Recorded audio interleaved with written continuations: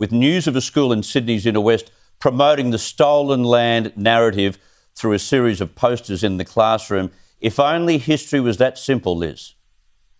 If only, Chris. I mean, I, I can't believe the extent to which our children in our educational system here in Australia are increasingly being used as ideological lab rats, whether it's gender theory, whether it's critical race theory, uh, are you a boy, are you a girl, are you something in between? Our kids are being taught a leftist's idea of the world yep. increasingly. And we know that they're coming out the other end unable to uh, prove themselves when it comes to basic things like reading, writing, and arithmetic. Correct, Justin. It's this one view of Australian history that we can't allow to continue being taught in the classroom.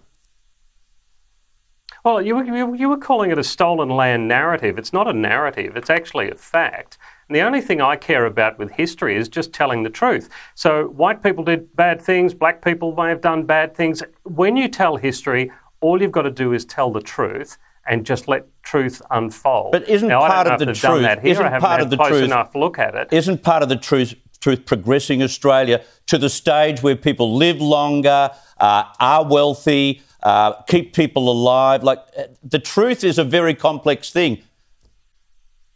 Are those are those two things mutually exclusive? That you can't tell no, the truth about the stolen land and help people uh, I think longer. more the well, issue, though, Justin, is at the things? age at which they're being taught it. Yes, exactly. I mean, as a kid, I wasn't thinking about colonisation. I've got to leave it there. Liz Storer, Justin Smith, thank you very much for your time.